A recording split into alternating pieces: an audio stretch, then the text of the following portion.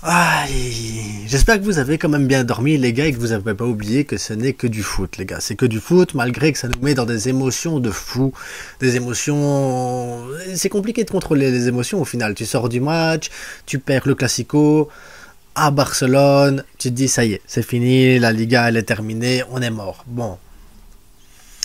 C'est rien les gars, c'est qu'une défaite, c'est une mauvaise défaite. On ne devrait pas perdre ce genre de match parce qu'un classico, tu, tu le joues pas, tu vas pour le gagner. C'est comme ça, c'est un classico, tu peux pas le perdre. Peu importe, hein, même si tu étais avant-dernier du championnat, ou que le Real est avant-dernier du championnat, peu importe les circonstances, la manière, le truc et tout, un match de classico, ça se gagne et ça se joue jusqu'à la dernière seconde. On a pêché hier, clairement, que ce soit les joueurs, que ce soit Xavi, les deux ont pêché, on a eu pas mal de problèmes. Maintenant, on va revenir un peu sur le match à froid, parce qu'il faut revenir un peu à froid comme ça. On va pas revenir sur le Real Madrid, sur Vinicius, je vais pas revenir sur Bellingham, je vais vraiment me concentrer sur le Barça et ce qui n'a pas été, ce qui aurait pu être changé. Mais voilà, c'est très facile pour moi de le faire à froid, de le faire tranquillement, parce que ben, à chaud, c'est compliqué. Et après, il y a des gens qui ont plus d'expérience que moi, plus d'expérience qui sont au bord du terrain et qui doivent prendre des décisions, qui doivent faire des choix, des choix pas évidents et qui doivent, voilà, les, les il faut les mettre sur la table et dire, voilà, c'est comme ça qu'on va faire les choses et c'est comme ça que ça doit être fait. Maintenant, une défaite est une manière aussi d'apprendre et de se reconcentrer, de dire, voilà, certaines erreurs ne doivent pas être mises en... certaines erreurs doivent être corrigées, c'est tout, c'est comme ça. On a merdé on a merdé pour le Classico, on doit se rattraper, il reste 81 points à prendre en championnat, que ce soit pour le Real ou pour le Barça, sur les 81 à prendre, on va perdre des points, eux vont perdre des points, à nous de perdre le moins de points possible, d'aller chercher, voilà, les 3 points à chaque match maintenant, on doit se battre pour aller chercher cette Liga, on doit se battre pour récupérer et pour repasser devant le Real, c'est comme ça, parce que même si on gagne pas la Liga, on doit être devant le Real. C'est tout, c'est comme ça, c'est le principe de base, on doit être devant le Real. Donc, restez là, on va discuter un petit peu calmement, tranquille, et on se retrouve juste après ce générique.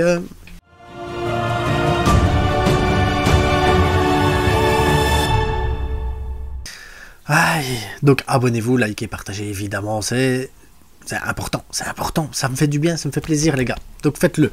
En attendant, on va partir sur déclaration de Xavi vite fait. Donc il a, dit manque d'efficacité, effectivement, manque d'efficacité. On a bien joué, effectivement, on a bien joué. Mais quand tu joues contre le Real Madrid, ça suffit pas. Et c'est pareil dans la Ligue des Champions, ça suffit pas de bien jouer, ça suffit pas de montrer un beau visage et de se dire regardez, on a bien joué, on a dominé, on, a fait tourner le ballon, on a contré leur truc. Si tu perds le match derrière, ça sert à rien. Ah, c'est inutile de bien jouer si derrière ça, ça, sert à rien. Ça sert à rien. Tu perds 3 points, ça sert à rien. Et tu le vois en fin de match, il y a Gavi en pleurs parce que ben Gavi, ça reste quand même. En plus d'être un supporter, c'est un joueur du club. Gavi, c'est l'âme. Gavi, pour moi, doit finir capitaine du Barça. C'est obligé. Quand tu vois comment il court sur le terrain, quand tu vois comment il se bat sur le terrain, quand tu vois comment il veut il veut chercher la victoire, comment il, il, vit, il transpire, il transpire le Barça, ce gars. Il doit finir capitaine du Barça. Gavi, c'est un monstre, les gars. Éclipsé par la performance de Bellingham hier, mais très franchement, si on avait fait match nul, Gavi est le meilleur joueur sur le terrain hier. Clairement, Gavi est le meilleur joueur et tu sens qu'il transpire le truc. Après, il y a eu la conférence de Gundogan derrière aussi, il y a un truc. Voilà, je ne suis pas venu pour perdre ce genre de match qui fait. J'aimerais voir plus de colère et de déception. Résultat inutile, il faudra en tirer les leçons. Donc, plus de colère, je me demande quel joueur. Parce que quand tu es au Barça, quand tu joues pour le Barça, perdre contre le Real Madrid, doit te mettre en colère doit te mettre dans la déception, ça doit te, avoir un esprit de révolte derrière, de dire les gars, on peut pas perdre de match contre le Real Madrid, tu peux pas perdre ce genre de, tu peux pas perdre tout court, tu dois chercher la victoire et contre le rival, tu, tu, peux pas te permettre d'être calme, posé et tout. Non, tu dois avoir cet esprit de révolte. Moi, j'ai envie déjà d'avoir le match retour et de voir les joueurs se révolter. J'ai déjà envie qu'on soit au match retour, moi. Euh, de prendre notre revanche au Bernabeu, dans leur nouveau stade, et de leur mettre euh, le, calme, euh, calmer le stade complètement, calmer tous ces Madrilènes et leur dire voilà, c'est ça le Barça. Apparemment, il y a un problème d'esprit de révolte dans le club, il y a un problème d'esprit de révolte dans certains joueurs. Franchement, j'aurais bien aimé que Gundogan donne une liste de tous ces joueurs qui n'ont pas été au niveau et de joueurs qui se disent bah c'est pas grave, c'est rien. C'est pas rien de perdre contre le Real, les gars. Moi ici, je vais essayer de poser le truc en me disant les gars, il y a voilà, il reste 80 points à prendre, il reste 27 matchs. la saison elle est loin d'être terminée, mais malgré tout, ça fait mal de perdre contre le Real. Ça fait mal de dire euh, voilà, Bill Bellingham encore une fois, non non 80 12 e minute, il va te mettre. C'est inacceptable. C'est inacceptable. On peut relativiser le truc en disant c'est pas grave, mais ça reste inacceptable. C'est une faute professionnelle. Le deuxième but est une faute professionnelle collective, pas uniquement d'Oriol Romeo, parce que Gavi lâche son joueur. Baldé sait plus qui tenir alors qu'il aurait dû aller sur le joueur qui fait le centre, que je sais même plus c'est qui. Derrière, Modric se retrouve tout seul pour faire un, contrôle raté, mais après Bellingham il se retrouve tout seul juste derrière parce qu'Oriol n'a pas suivi le ballon. Une faute collective sur ce deuxième but qui ne devrait pas exister. Une faute collective sur le premier but de Bellingham parce que ouais, ben, Bellingham il a le temps de frapper, d'armer sa frappe correctement parce que personne ne sort du rectangle. Derrière Ter Stegen, une frappe à 30 mètres, je suis désolé, un gardien de son niveau doit pouvoir sortir ce genre de ballon, peu importe la puissance de la frappe, peu importe la précision de la frappe. Tu dois être sur le ballon à un moment donné, à 30 mètres du goal, tu dois être dessus. Peu importe la puissance et la beauté de la frappe. Ter Stegen, c'est aussi une faute professionnelle. Donc on est sur deux fautes professionnelles. Sur ce genre de match, on ne peut pas se le permettre. Peu importe les joueurs qui sont sur le terrain. Tu peux pas te le permettre. C'est tel le Barça, tu peux pas laisser jouer l'adversaire. C'est tout, c'est comme ça. Et ça fait mal. Après, derrière, le staff médical qui te dit que bah, Lewandowski, il est bon, Rafinha, il est bon. Tu te dis ok, s'ils sont bons, qu'ils sont, qu'ils sont là, bah, ils doivent apporter quelque chose de plus. Donc le staff médical qui a peut-être fait sortir trop vite ces joueurs-là, je pense que le match aurait été différent si Xavi ne les avait pas eu sur le banc. Parce que peut-être qu'ils sont pas prêts, peut-être qu'ils sont pas frais, peut-être qu'ils avaient besoin de minutes contre une équipe un peu moins forte que le Real Madrid, parce que le Real Madrid est quand même une équipe forte. Donc est-ce que le staff médical n'a pas sorti trop vite ces joueurs-là qui au final n'ont rien apporté sur le terrain? Parce que moi je me mets à la place de Xavi. Et Xavi il dit bah ça va, le staff médical dit qu'ils sont en forme, dès qu'ils sont bons, dès qu'ils sont prêts pour le match, qu'ils peuvent avoir 60 euh, minutes dans les jambes. Derrière, tu les mets sur le terrain, donc c'est normal que Xavi les fasse rentrer. C'est quand même Rafinha et Wandowski, c'est des titulaires, c'est pas c'est pas des gamins comme Guillou ou, ou Casado, c'est des gros titulaires, c'est des joueurs de l'effectif qui sont là. Tu les fais rentrer, ce qui est normal de les faire rentrer pour moi. Mais après, ben, quand tu vois l'apport qu'ils ont derrière, est-ce que le staff médical n'a pas donné le feu vert un peu trop tôt pour ces joueurs-là? Est-ce qu'ils n'auraient pas dû rentrer en jeu, par exemple, contre la Sociedad, pour dire de gagner quelques minutes? Et en attendant, ben, Xavi pouvait faire avec ce qu'il avait sur le banc, et alors peut-être qu'un Guillou plus, plus mobile aurait fait plus de mal au Barça, surtout que c'est aussi un joueur âme du club. Est-ce que euh, Oriol Romeo, s'il n'avait pas été sur le terrain, qu'on avait mis Casado, est-ce que ça aurait pas été différent dans la maîtrise du ballon également? Est-ce que Marcos Alonso aurait pas apporté un peu plus que Baldé défensivement? Je, ne sais pas. Après, on peut toujours refaire le match derrière et se dire, ben voilà. Avec le recul, c'est avec le recul, je vous le dis, c'est beaucoup plus facile parce que ben, là, je me rends compte que je me dis, mais il a sorti Cancelo. Est-ce que ça aurait pas été préférable de sortir Baldé, qui n'était pas vraiment bien en deuxième mi-temps, et de mettre Cancelo sur le côté gauche? Laisser Joao Félix, comme ça tu aurais eu Cancelo, Joao Félix, qui sont tous les deux portugais, qui se connaissent très bien, sur ce même côté. Ça aurait peut-être été différent.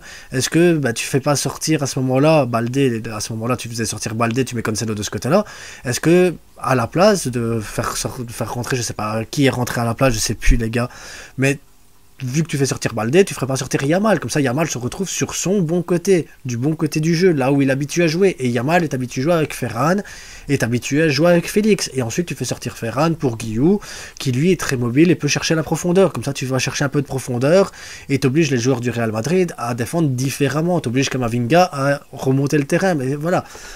Pour moi, c'est les deux seuls changements qui auraient pu être faits sur le match, parce que bah, derrière, comme je vous l'ai dit, Lewandowski n'a rien apporté. Mais après, c'est dur pour un entraîneur de dire, bah, tu te prives de Lewandowski, tu te prives de Rafinha. Mais c'est pour moi, c'était pas le bon match pour les faire rentrer, c'était pas le bon moment de les faire sortir de blessure. Et après, on était quand même content de les voir euh, sur la feuille de match et te dire, ah, ils vont apporter. C'est compliqué. Tu peux pas prévoir à l'avance ce qui va se passer. Les changements pour moi ont été mauvais et en même temps ils n'ont rien apporté. Xavi tactiquement s'est fait biaiser par Ancelotti. Ancelotti, bah, en même temps le Real arrive avec son équipe type. Hein. Il faut pas non plus négliger le truc. Toi tu joues avec du Firmin Lopez qui a 20 ans, tu joues avec Baldé qui a 20 ans, tu joues avec des gamins. Ça excuse pas tout.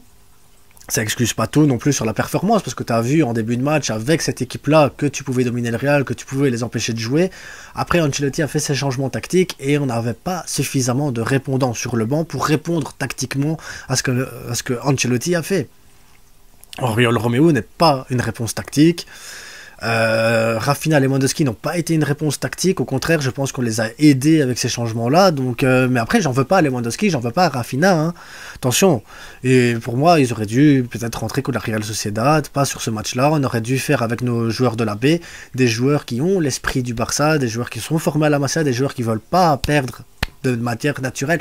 Ils ont dans le sang ce truc que Gavi il a dans le sang et serait peut-être très plus facile pour eux de jouer contre le Real Madrid au final parce qu'ils ont cette âme Barça.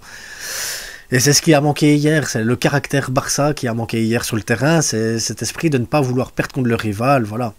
Maintenant on a perdu le match les gars. Maintenant, on a perdu le match. Revenir derrière ainsi, c'est beaucoup plus facile pour moi. C'est beaucoup plus facile avec le recul. Xavi n'a pas fait les bons choix. Les joueurs sur le terrain n'ont pas été au niveau comme ils auraient dû être au niveau. Donc, les, remplaçants titulaires n'ont pas été au niveau comme ça aurait dû être. Le changement pour moi, Yamal sur le côté, sur le côté gauche, alors que c'est pas son côté, c'est une mauvaise idée. Mais à côté de ça, Rafina ne sait quand même, même quand Rafina est au top du top du top, il ne sait quand même pas jouer à gauche. Donc euh, normal de se dire, ben voilà, dans sa tête, Xavi se dit, ben ouais, je mets Rafina à droite parce que ben, il sait pas jouer à gauche. Yamal à gauche a montré quand même des belles choses, mais en même temps, Yamal, ça fait quelques matchs qu'il joue sur le côté droit et que ça fonctionne super bien. C'est pour ça que je vous dis, on n'aurait peut-être pas dû faire rentrer Rafina. C'est peut-être plomber l'entrée des joueurs, c'est peut-être les mettre dans des mauvaises circonstances pour la suite du championnat aussi. Il y a eu des problèmes hier, les gars, il faut revenir dessus. On a eu des problèmes, le Real a été meilleur. Ancelotti, tactiquement, a pu répondre. Mais Ancelotti avait son équipe type. Ancelotti avait son équipe type. Ancelotti n'a pas de grosses blessures, à part Thibaut Courtois, il n'a pas de grosses blessures. Nous, on doit faire avec ce qu'on a. Il nous manque Pedri, il nous manque Frenkie, Koundé, voilà, retour de blessure, Lewandowski, retour de blessure, Rafinha, retour de blessure. On n'était pas prêt, prêt physiquement pour gagner ce match, malgré la très bonne prestation en première mi-temps, mais c'est pas suffisant. C'est pas suffisant. Tu dois tuer en deuxième. En première mi-temps, tu devais tuer. C'est tout. On est seul responsable de la défaite. En attendant, les gars, abonnez-vous, likez, partagez. N'ayez crainte qu'on va gagner le championnat. Parce qu'on va gagner le championnat. Je le sais, je sais pas pourquoi. Au fond de moi, je sais qu'on va gagner le championnat. Cette défaite, elle fait mal. Elle fait mal à l'orgueil, elle fait mal aux joueurs. Il faut un esprit de révolte. Si on a cet esprit de révolte, on va gagner le championnat. Je m'inquiète même pas parce que le Real Madrid, on va leur marcher dessus au Bernabeu. On va leur marcher dessus, les gars. En attendant, Bonne journée, bonne soirée, je sais pas quand vous regardez la vidéo.